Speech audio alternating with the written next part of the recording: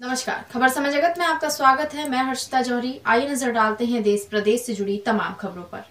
Janata Dal United के प्रदेश कार्यालय में दिवंगत सांसद बैजनाथ महतो के चित्र पर पुष्पांजलि अर्पित कर दो मिनट का मौन धारण कर श्रद्धांजलि दी गई। प्रदेश अध्यक्ष सूरज जायसवाल, अल्पसंख्यक प्रकोष्ठ के अध्यक्ष मिसबाह उल हसन ने जानकारी देते हुए बताया कि लंबे समय तक जनता दल यूनाइटेड से जुड़े रहे महतो का लंबी बीमारी के चलते विगत दिनों दिल्ली के एम्स में निधन हो गया था।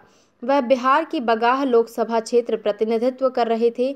मालूम हो कि दिवंगत नेता इससे पहले दो बार सांसद और विधायक के पदों के साथ बिहार सरकार में कैबिनेट मंत्री के बड़े पदों का दायित्व का निर्वहन कर चुके थे। इस मौके पर प्रदेश अध्यक्ष सूरज जायसवाल, संगठन मंत्री आलोक शर्मा, कार्यालय प्रभारी सरवर खान, महासचिव विनोद मालवीय, अल्पसंख्यक प्रकोष्ठ के अध्यक्ष मिसबाह उल हसन नसीम खान, शोभा दुबे, ओबेस भाई सहित अनेक कार्यकर्ताओं ने भावपूर्वक श्रद्धांजलि अर्पित की।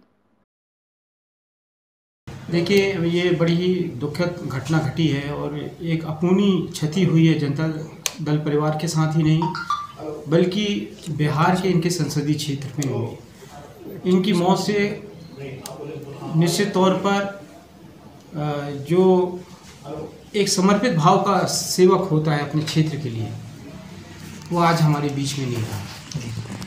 और, जनता दल से, समता पार्टी के समय से, ये पार्टी से जुड़े हुए थे। और जिस प्रकार से ये अपने क्षेत्र में जनता के बीच में लोकप्रिय थे, उनके बीच में काम करते थे, उसी का परिणाम था कि एक बार विधायक भी रहे, फिर, बिहार सरकार में मंत्री रहे और दो बार से लगातार सांसद रहे।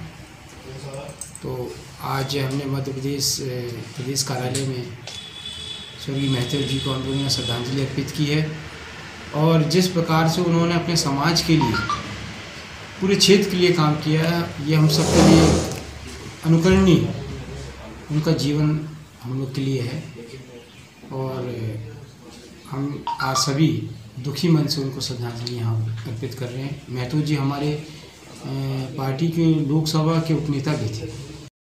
खबर समय जगत के लिए संवाददाता शक्ति भारती, भोपाल।